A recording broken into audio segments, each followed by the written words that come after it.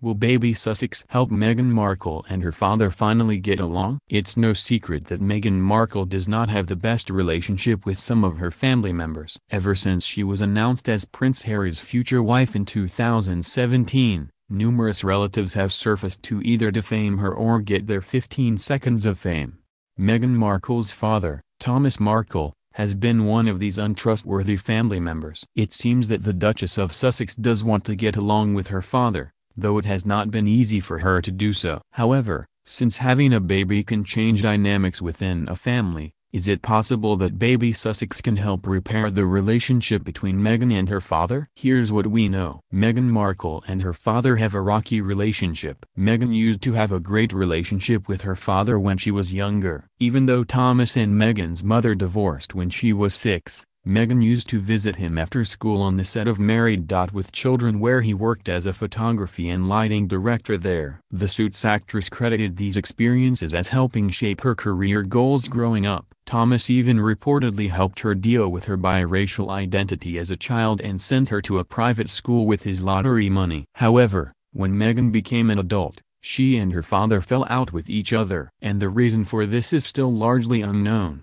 Before Meghan and Prince Harry's wedding, Thomas made their father-daughter relationship even worse. He hired paparazzi to take staged photos of him for newspapers and revealed that he suffered a heart attack. He ended up not being invited to the royal wedding. After the wedding, all eyes were on him again when he published a private letter Meghan had written to him. In the letter, she pleaded for him to stop causing her so much pain and said that she was willing to work with him to get their relationship back on track. However, since he broke her trust by sharing the letter with the press, it remains to be seen what will happen to their relationship. Thomas Markle has been quiet these days. It has been two months since Thomas published the letter and he has not spoken about Meghan in a while. This causes some people to believe that he is getting serious about being a good father to Meghan again and that Meghan perhaps is also making an effort on her end.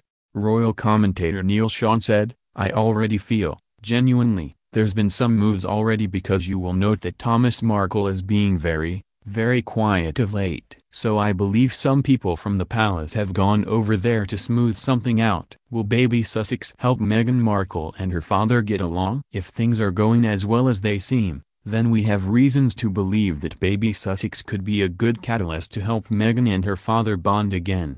However, Thomas will not be near Meghan when she gives birth and it's possible he will only be contacted afterward. A friend shared that he will simply follow the coverage on TV just like everyone else, though he is looking forward to being a part of baby Sussex's life.